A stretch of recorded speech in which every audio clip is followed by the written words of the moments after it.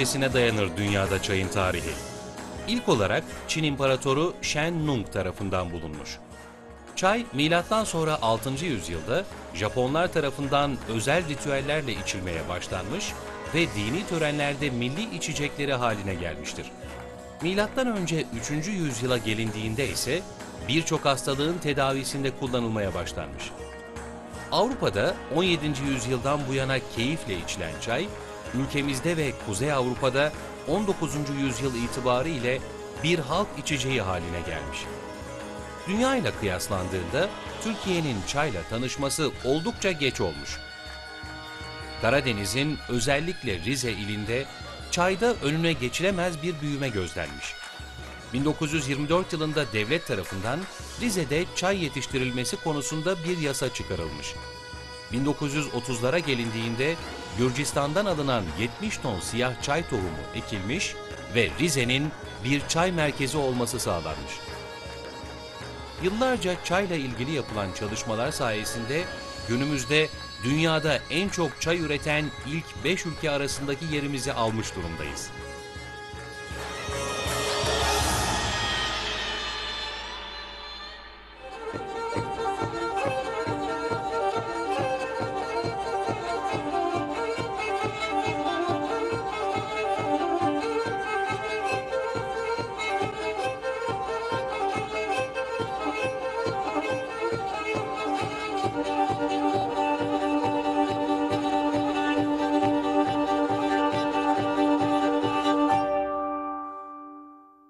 Mayıs ayının sonunda yazın başlangıcında yeşilin her tonunu görebiliriz Doğu Karadeniz'de.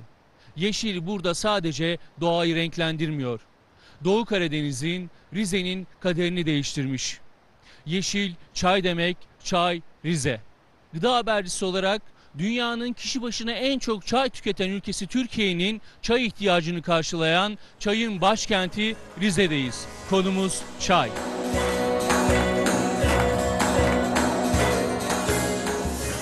Burada uzun yıllar e, Zihni Derin Bey, o zaman hükümet tarafından görevlendirilen Ziraat Yüksek Mühendisi Zihni Derin Bey çayla ilgili çalışmaları yapıyor. Bu topraklarda bu çayın yetişebileceğini görüyor. İşte bu araştırma bahçelerinde bu uygulamaları yapıyor. Ufak bir atölyede ürettiği çayları e, işliyor, tahliller yapılıyor ve üretilen çayların e, bugün çok kıymetli olan, dünyada çok kıymetli olduğu hemen herkes tarafından kabul edilen Hindistan'ın yüksek kesimlerinin Darjeeling bölgesi çaylarının, Darjeeling çaylarının e, seviyesinde olduğu, çok değerli olduğu e, tespit ediliyor.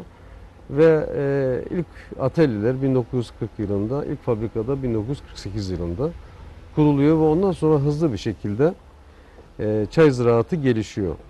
Tabii ilk tohumlar Batum'dan e, motorla, deniz yoluyla geliyor 70-75 ton civarında. Ve daha sonra bu gelişe gelişe işte bugünkü duruma geliyor.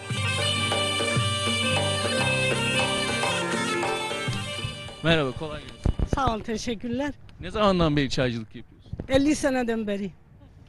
Peki bir insan ne kadar çay toplar bir günde? Bir X'ten yere göre düz yer olursa 500 kilo toplar. Ama dik yerler olursa 300, 400 o civarlarda. Peki çay yetiştiriciliği zor mu? Zor. Zor değil şimdi fabrikalar çok aldı şimdi zor değil. Neden zordu eskiden? Neden zor değil? Elle toplanılıyordu, izdiham oluyordu. Fabrika bir taneydi, fabrikalar çoğaldı, özeller çoğaldı onda. Çay toplamak zor mu? Çay toplamak zor değil. Gençler için, bizim için biraz daha zaman geçti artık da. Ama gençler de toplamıyorlar. Orta yaşlarda işte çay toplamak zor değil. Peki gençler hevesli mi? Var mı ta- köylerde genç nüfus kaldı mı? Genç nüfus kalmadı. Bizim çocuklarımız okuldayken arada arada bize yardımcı oluyorlardı, çay topluyorlardı. Şimdi öyle de yapmıyorlar çocuklar artık toplamıyorlar. Biraz yaşlılara kalıyor. Onlar da işte işçi toplatıyorlar, kendileri yapamıyor. E, toplamak o kadar zor değil ama satmak daha zor oluyor. Çünkü randevu sistemi yapıyorlar, kontenjan yapıyorlar. Satmakta zorlanıyoruz. Yani toplamak o kadar zor değil. Zordur zor ama gene ne yapacaksın? Çay daha önemli. Daha çay toplayacaksın para dur. En iyisi devlet. 3-4 çay veriyoruz biz devlette önünde. Kontenjanımız var. Çay burada Mart'ta artık başlar temizliğe.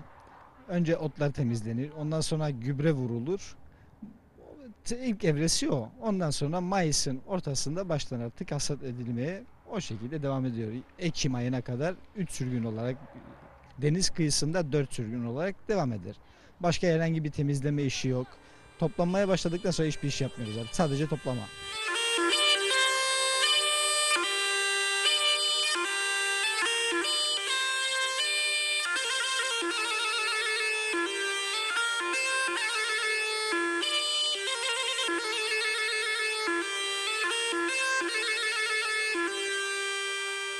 Çay yetiştiriciliği zahmetli bir iş.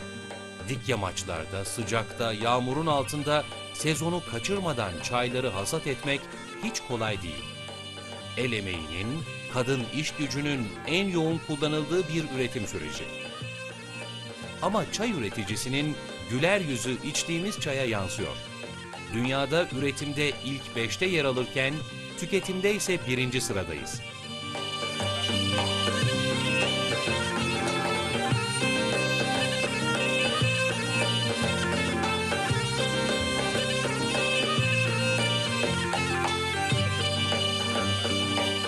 Sabah öğle akşam tüketiyoruz yani. Çayı seviyoruz. Peki Rize için çay ne demek? Yani Rize için çay demek hayat demek gibi bir şey yani. Rize öyle yani bize. Çayı seviyoruz. Ben sadece siyah çay tüketirim. Başka da diğer çaylar hoşuma gitmez. Yani sadece Rize'de hani hep çay olduğu için ben onu içerim yani. Ben de Rize'nin te- çay demlemesi Rize'de öğrendim. Suyunu doldurup altına koyuyorsun, üstünü boş çaydanlığa koyuyorsun. Ondan sonra o kaynayınca üzerine çaydanlığı koyup üzerinden çayı döküyorum. Çay aşağıya oturana da 15 dakika bekletiyorum, demleniyor. Rizeliler böyle yapıyormuş, ben de böyle alıştım, böyle yapıyorum.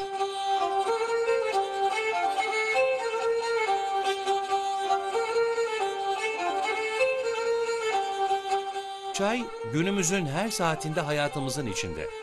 Önemli bir konu konuşacaksak veya üzüntümüzü paylaşacak olsak mutlaka bir bardak çay içilir. Zenginin de fakirin de sabah sofrasının, yemek sofrasının olmazsa olmazıdır. Peki çay nasıl demlenir? Çay demlerken nelere dikkat ederiz? Gelin işin ustalarından öğrenelim.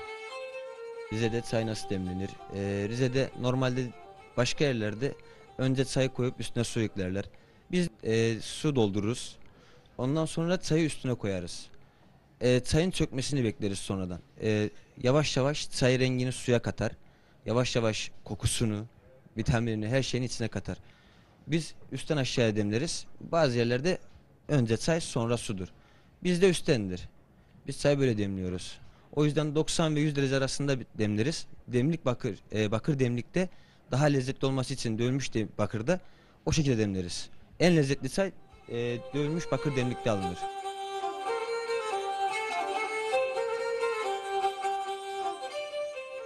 Dünyanın çay üretimi yapılan birçok bölgesinde yoğun olarak zirai ilaç kullanılmakta. Ülkemizde ise çayda zirai ilaç kullanımı yok. Çünkü Doğu Karadeniz'in kendi mikroklimasında hastalık ve zararlı barındırmıyor.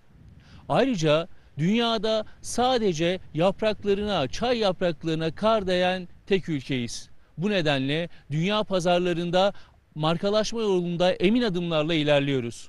Peki bu markalaşma yolunda emin adımlarla ilerlerken ARGE çalışmaları çayda ne durumda?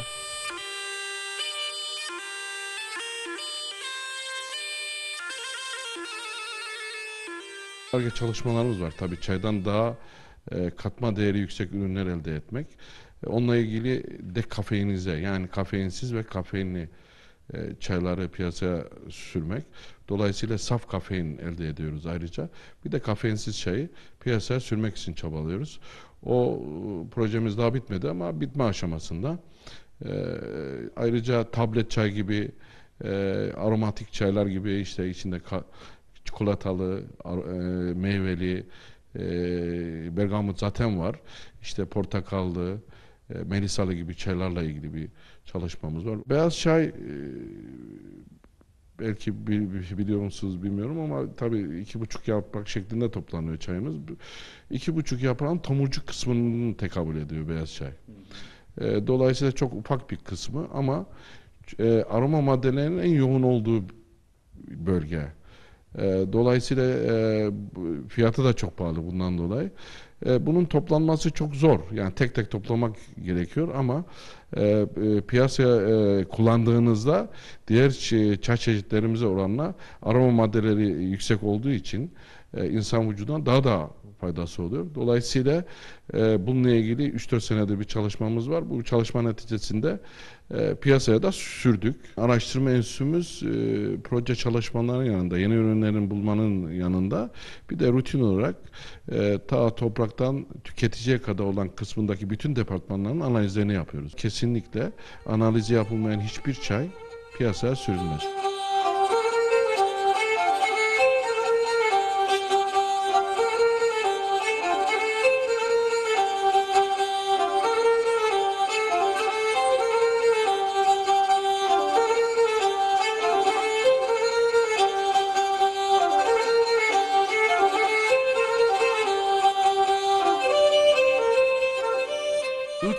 En çok tüketilen çay çeşidi siyah çay.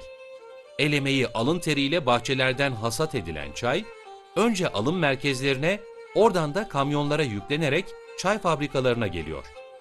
Hasat edilen zümrüt yeşili çaylar hangi aşamalardan geçip siyah çay haline dönüşüyor? 25 alım yerimizde eksperlerimiz tarafından kontrol edilmektedir. Standarda uygun çaylar, ham maddeler alınmaktadır ve tazeliğini kaybetmeden 24 saat içerisinde işletmemize siyah çay imalatının aşamalarından geçirilmek amacıyla 24 saat içerisinde çaylar getirilmektedir. Uygun olan çaylar imalata, siyah çay imalatının ilk aşaması olan solma ünitesine solma işlemi yapılmak amacıyla verilir. Siyah çay imalatı dünyanın diğer ülkelerinde, Çin'de, Hindistan'da ve diğer ülkelerde olduğu gibi 5 aşamadan oluşmaktadır. Solma, soldurma aşaması, kıvırma aşaması, oksidasyon aşaması, fırın, kurutma aşaması ve en son nevilere ayrılma, tasnif aşamasından oluşmaktadır. Soldurma ünitesi de yaklaşık 6 saatlik bir süre geçmektedir. Yaş çay yapraklarının bünyesindeki yaklaşık %80 orandaki su oranı 6 saatlik solma süreci sonunda %50 düzeylerinde su oranı getirilmek suretiyle solma işlemi e, birinci aşamada tamamlanmaktadır. E, solmuş çay yaprakları makinede ezilme, bükülme, kıvrılma, parçalanma suretiyle çayın yaprağındaki hücre öz suyu dışarı çıkarılmakta, havanın oksijeniyle temas etmekte, oksidaz enziminin tesiriyle e, çay e, bileşiklerindeki, çayın içindeki bileşiklerde biyolojik değişimler olmakta. Üçüncü aşama olan fermentasyon, oksidasyon ünitesine çaylar gelmektedir. Fermentasyon işlemi çok önemli. Görüldüğü gibi çayın hiçbir aşamasında ülkemizde, kurumumuzda en ufak bir katkı maddesi kullanılmadan tümüyle doğal olarak üretilmekte.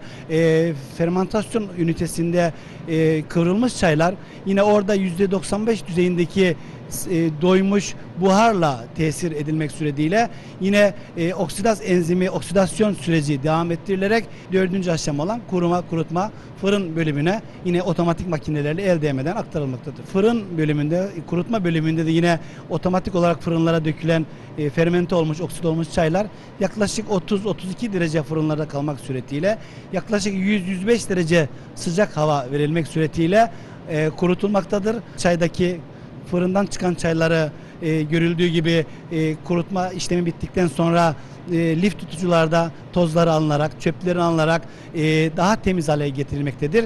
Nevileri ayrılma bölümüne 5. aşamaya e, fırından çıkan çaylar otomatik bantla yine aktarılmaktadır. Paketli çay üretiminde kullandığımız e, çay, e, 4 nevi çay e, bölümünde elde edilmektedir. Tabii ki çay burada e, kalınlığına göre, inceliğine göre, hacmine göre, volümüne göre ve kalitesine göre e, eleklerden, değişik çaplı gözenekli eleklerden geçirilmek suretiyle elenmekte. Her nevi çay, 1, 2, 3, 4 nevi çay paketleme fabrikasına sevk edilmek amacıyla depolanmakta ve uygun şartlara da muhafaza edilmektedir.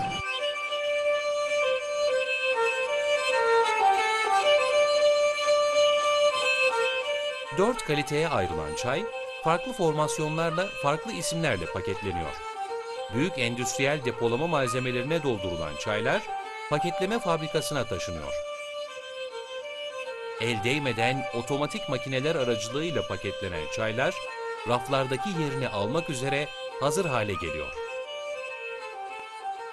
Bize yaş çay işletmelerinden gelen vasıtalardaki çaylar öncelikle e, kalite kontrol laboratuvarında reçeteye uygunluğu analiz edildikten sonra uygun ise üretime veriyoruz. Üretimde de paketleme makinalarındaki üreteceğimiz çayın çeşidine göre harman kısmında reçeteleri hazırlanıyor. Bu hazırlanan reçeteler doğrultusunda harmanlandıktan sonra paketleme makinesine verilerek üretimi yapıyoruz. Ee, Gıda güvenliği yönetim sistemi, kalite yönetim sistemi ve helal gıda yönetim sistemi çerçevesinde bu standartlara uygun olarak yapılmaktadır. Onun için piyasaya arz ettiğimiz tüm çaylar e, istenilen üstün kalitede ve standartlara uygundur. Uluslararası gıda örgütlerinin kabul etmiş olduğu standartlar çerçevesinde ihracatımızı yapıyoruz. Zaten e, o standartlara uymaz isek ihracat yapma imkanımız olmaz. Onun için son yıllarda hem e, organik olması itibariyle hem de çayımızın e, tamamıyla kimyasal e, katkı maddelerinden arındırılmış ve hiç kullanılmayan bir e, şekilde olması itibariyle e, ihracatta büyük bir atılım yapmaktayız.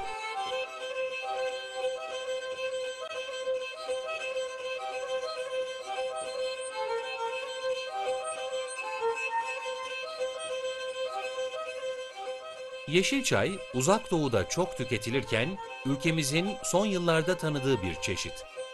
Tüketicilerin yeşil çayın faydalarını öğrenmesiyle birlikte ülkemizde yeşil çay tüketimi her geçen gün artıyor. Üretim süreci de siyah çaya göre farklılıklar gösteriyor.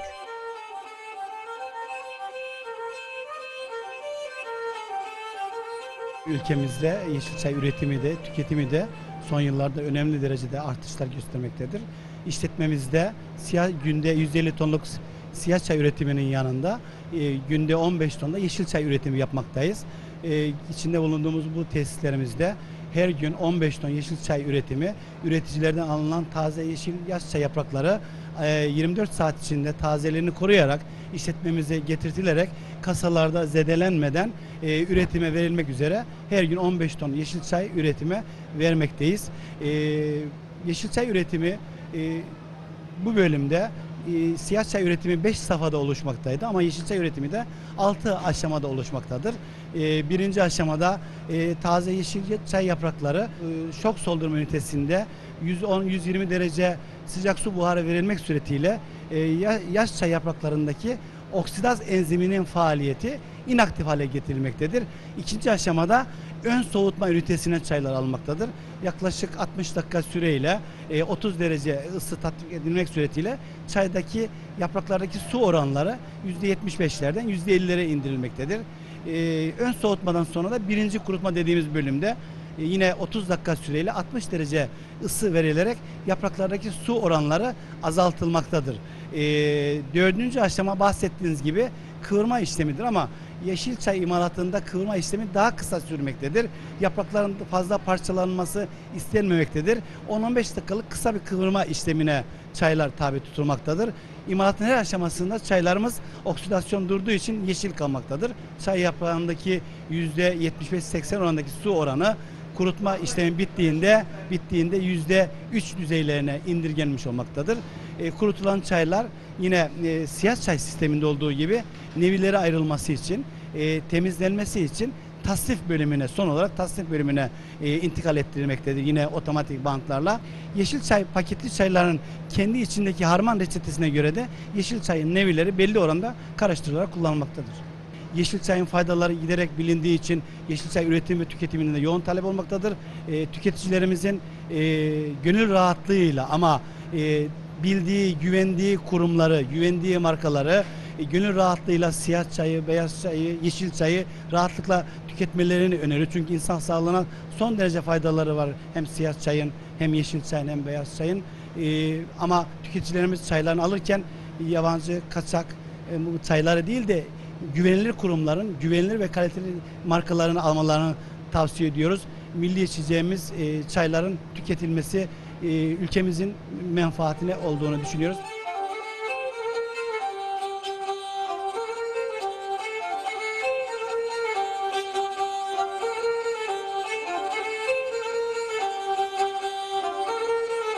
Tüm dünyada toplumsal yaşamda oldukça önemli bir yer tutar çay. Ülkemizde sudan sonra en çok içilen en önemli içecek. Ülke olarak çay üretiminde hedeflediğimiz projeleri gerçekleştirdiğimizde dünyada Türk çayı markalarının tanınması da mümkün olacak.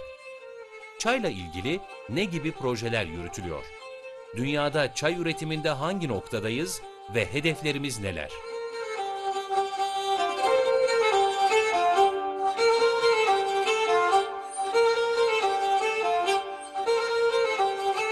Bugün biz çayın ana vatanı olan e, Çin birinci sırada zaten. Çin'den sonra çay ziraatına e, başlayan Hindistan ikinci sırada. E, Kenya üçüncü sırada, Sri Lanka dördüncü sırada, biz ise beşinci sıradayız. Üretim açısından. Toplam çay üretiminde beşinci sıradayız. E, siyah çay üretiminde ise dördüncü sıradayız. Yani Çin daha çok yeşil çay üretir. Ama çay tüketiminde, e, kişi başı çay tüketiminde ülkemiz dünyada birinci sırada. Bir 5-6 yıldır bir ihracat atağı başlattık. Dedik ki bizim çayımız e, bütün dünyada bilinsin, e, içilsin. Bu kültürümüzü de biz bütün dünyaya tanıtalım. E, Türkiye'de çayın üretildiğini herkes bilsin ki şimdi artık biliyor. Çayımızın çok farklı bir yönü var, çok güçlü bir yönü var, özelliği var. Özellikle onu anlattık. Onu da kimse bilmiyordu. Nedir genelde? Çayda pestisit çok önemli bir problemdir. Yani e, diğer çay üreten ülkeler tropik veya yarı tropik sıcak iklim kuşaklarında çay yetiştirdikleri için e, 30-40 çeşit bazen 70-80 çeşit haşere ile mücadele etmek zorundadırlar. Tabii bu pestisitler çayın bünyesinde kalıyor. E, biz ise en kuzey iklim kuşağında çayımızı ürettiğimiz için yani bu topraklarda çayın yetişmesi Allah'ın bir lütfu. Dünyada üzerine kar yağan en sağlıklı çay bizim çayımız. Yani bize rakip başka bir e, ürün yok, çay yok. Çayımızı da bir dünya markası yapma yolunda şu anda hızla ilerliyoruz. Yani şu anda bir dünya markasıyız diyebiliriz. Çünkü dünyanın 104 ülkesinde varız. 104 ülkeye 104 ihracat ülkesinde şu anda varız. İşte 35 Afrika ülkesinde, 38 Avrupa ülkesinde, e, 15 Asya ülkesinde, işte Amerika'da, Avustralya'da, e, Güney Amerika'da yani adalarda ta işte bu Pasifik adalarında dahi biz e, uzun yıllar sadece siyah çay ürettik ve tükettik. E, yani bunun yanında başka bir ürün yoktu. Biz çaydan daha sonra işte beyaz çayı ürettik. İşte şu beyaz çay dediğimiz bu tepe tomurcuklarının toplanıp doğal ortamda çok hijyenik e, bir şekilde kurutulmasıyla elde ediliyor. Bunun kilosuna biz 500 lira veriyoruz şu anda. Ve bu çayın e, imparatoru olarak adlandırılan, imparatorların çayı olarak adlandırılan beyaz iksir diye bizim markaladığımız bir çaydır. Yani e, dünyanın işte en kuzey iklim kuşağında üzerine kar yağan, haşere barındırmayan, pestisit barındırmayan çok sağlıklı bir çay üretiyoruz. Bizim çayımızı tüketsinler.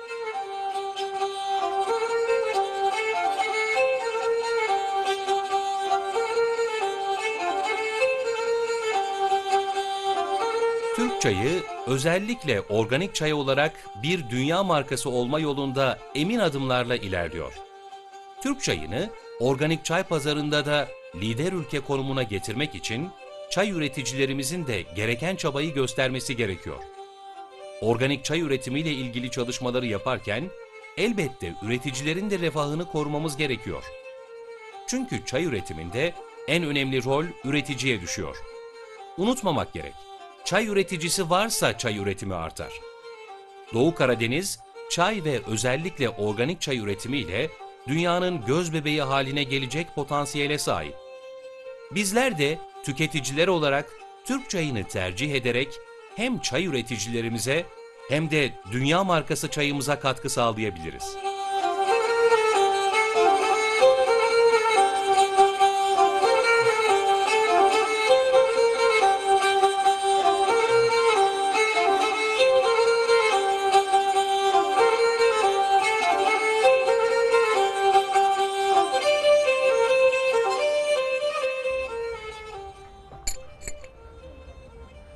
Kaliteli çay demlemek için mutlaka kaliteli ve yumuşak bir suya ihtiyacınız var. Böylelikle çayınız daha lezzetli olacak. Demliklerinize çay koyduğunuzda kesinlikle çayı yıkamayın. Çünkü o dökülen zerreler özellikle demi ve lezzeti arttıran unsurlar. Aldığınız çayları kesinlikle rutubetten uzak ve koku almayacak yerlerde saklayın. Mümkünse cam kavanozlarda ağzı kapaklı olarak saklansın. Eğer aldığınız çaylarla ilgili bir problemle karşılaşırsanız Alo 174 gıda hattını arayarak sorunlarınızı iletebilirsiniz. Gıda habercisinden de bu haftalık bu kadar. Sofralarımızdan çay hiç eksik olmasın. Sizleri her hafta gıda habercisini izlemeye davet ediyorum.